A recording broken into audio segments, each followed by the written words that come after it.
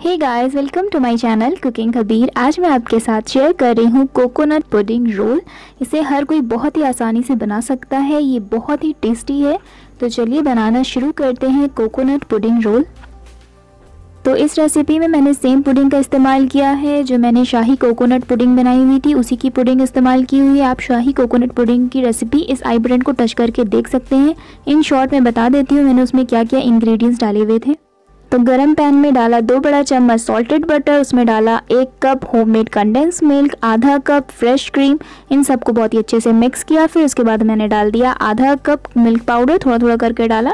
इसकी पूरी आप प्रोसेस उस वीडियो में देख सकते हैं। इसमें अब हमने क्या करना है कि इसको मीडियम टू हाई फ्लेम पर करके इसको चलाते हुए बहुत ही अच्छे से हमने इसको पकाना है। जब तक कि ये बिल्कुल गाढ़ा नहीं हो जाता, बिल्कुल थिक जैसे डो की तरह, जैसे अभी ये धीरे धीरे थिक हो रहा है, अब हमने इसको बहुत ही अच्छे से मिक्स कर लेना है। देखिए, बिल्कुल बर्फ़ी के डो की तरह हो गया ना, अब हमने क्या करना है फ्लेम को ऑफ़ कर देना है।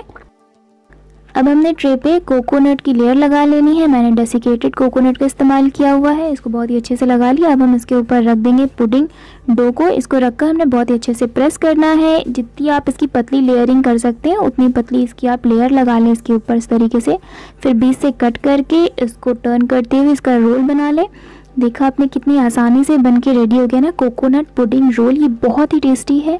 आप भी इसको ज़रूर ट्राई करें, इसको बनाना भी बहुत ही आसान है। ये मिठाई मेरी सबसे फेवरेट है, मुझे बहुत अच्छी लगी। आप भी ट्राई करें, आपको भी बहुत अच्छी लगेगी। देखिए ये पुडिंग रोल कितना स्मूथली कट हो रहा है ना? ये खाने में भी बहुत ही टेस्टी है। आप भी इस रेसिपी को ट्राई करें और मुझे कमेंट करके बताएँ कि आपको मेरी कोकोनट पुडिंग रोल रेसिपी कैसी लगी।